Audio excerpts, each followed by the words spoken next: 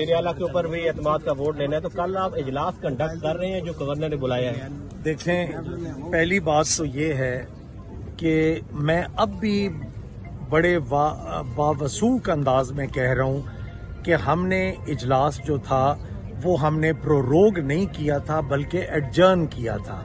Adjourn आप सारे माशाल्लाह समझदार हैं कि हाउस इन ऑर्डर है और हाउस चल रहे है। तो इसके ऊपर गवर्नर साहब ने ये जो रात ये ऑर्डर किया है, मैं इसको इलीगल समझता हूँ और मैं इसको ठीक नहीं समझता।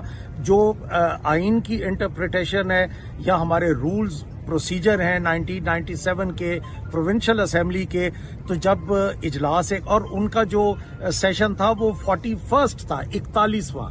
हमने वो खत्म करके बितालीसवां शुरू किया है। और ये प्योरली स्पीकर ने बुलवाया है। ऑनरेबल स्पीकर के ये इख्तियार हैं ऑनरेबल गवर्नर के ये इख्तियार नहीं है। और एरियाला के ऊपर भी एतमाद का वोट लेना है तो कल आप इजलास कंडक्ट कर रहे हैं जो गवर्नर ने बुलाया है?